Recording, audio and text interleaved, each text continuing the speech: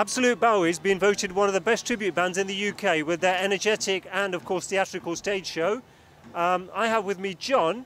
John, can you introduce yourself and the band? Yeah, I'm the lead singer of the band, and um, we love our job. It's the I have gotta have the best job in the world. You're jealous. Everybody out there is jealous. Mm, I don't blame you either. John, you were uh, uh, great, and you wowed the energised crowd. How was it for you? Great. I love playing outside. This is. I was born to do this. I feel. You know, this is a, a second coming for me. Really. I should have sort of arrived from the womb straight onto stage, I, I reckon, but it, it, just wasn't meant to be. So uh, later on in life, I got into it, and I was really interested in Bowie and his music and his appeal and, and, and what he actually meant, which I never really worked out what Bowie meant or any of his songs, but I'm still sort of like delving deep to try and see if I can reach that point of understanding.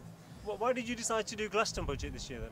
Um, uh, well, we, we do come and play for them uh, every two or three years, uh, and it's a great crowd. It, it, really is. It's, it's where all the tributes converge and uh, and uh, everybody gets to, a chance to see, you know, some of the people that you have to pay like 200 pounds to see, you know, yeah. and they're just as good sometimes. And some of them are even dead. And so, like, you know, we sort of relive the, the, the experience of um, not seeing their heroes. So the, um, it ticks every box, really, I think. John, with, with Bowie, obviously had so many great hits. How, how do you guys actually choose the ones you're going to perform? Because you, you're sport for choice, really. We are. There's just we've got so many to do, and uh, well, we have a saxophonist, uh, female, and she comes along with us, and that changes the set around completely. Uh, and the, and the, everybody loves a little bit of saxophone on stage, so it's great to sort of like be able to change the set around to what we did last time, so we keep it sort of fresh. But yeah, we have to play the uh, the anthems and, and, the big ones, you know, the uh, people want to dance and sing to. So that's what we do. Yeah.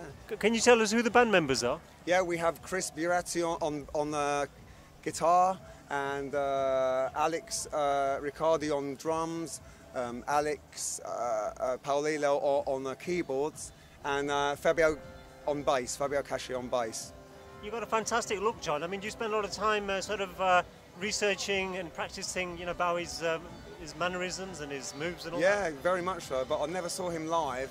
Uh, but so all I had really to research was video. So that's what I did, and uh, and and, and uh, you know, even though I didn't get to see him, probably if I did get to see him, he would have been about that big, you know. Uh, but you know. So you, you never met him clearly? No, never. What's your favourite Bowie track then? Um, right now, it, I, I, I've got a very strange imagination because my best track changes all the time.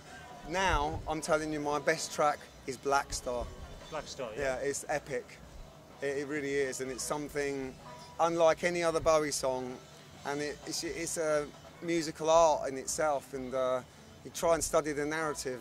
It, it really is. Uh, there's many points to look at, but I never really know what it means, and uh, never really uh, never probably will ever know what it means. John, uh, you said let's dance, and that's exactly what the fantastic crowd did here at uh, Glastonbudget today. Thanks for entertaining us. Thanks very much. Thank you. We really enjoyed every moment. I hope it showed. It did. It was fantastic. Good. Cheers. Thanks, John. Thank you, mate. Thanks a lot.